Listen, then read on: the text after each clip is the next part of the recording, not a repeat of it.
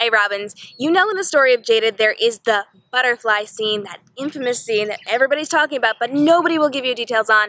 And I wanted to let you guys know that I recently went to a butterfly house where I was surrounded by beautiful monarch butterflies, and I wanted to give you a behind the scenes look because while I tried to do my live broadcast, I did not have the reception and I was not able to live broadcast, but I did take some video, and I want you to check out the behind the scenes of this butterfly house that is all about the butterfly that inspired the butterfly scene in Jaded. So let's take a look.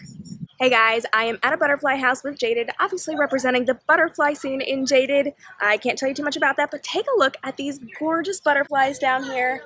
As you can see, monarch butterflies are absolutely beautiful, and I have a special fondness for them because as I was a child growing up, my family used to raise butterflies. We would take them from the time they were in a chrysalis to the time that they were ready to fly away, and we would take care of them, we would feed them, and then we would release them back into the air. But we would also raise the butterflies that fell when they came out of their chrysalises and they had broken wings and they were not able to fly. And so from the time they broke their wings until the time that they died, my family took care of them. We fed them, we let them crawl on our hands, they played with our puppy dog, and we had this amazing time with the butterflies that we named Crinkle. So every single one of these broken butterflies was named Crinkle and was given to us by a man who actually raised these butterflies for a living.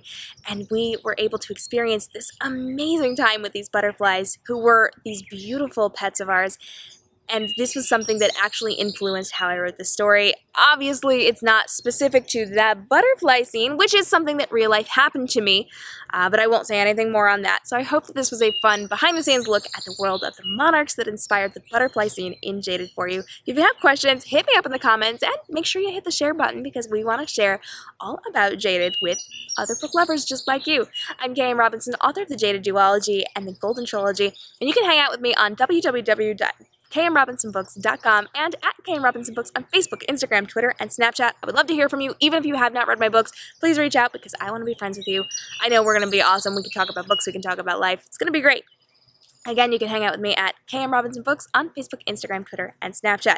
I will see you in the next video. Let me know what you want to see more of. Hit up those comments and tell me what you want to learn about all about Jaded. You have a great day and stay inspired.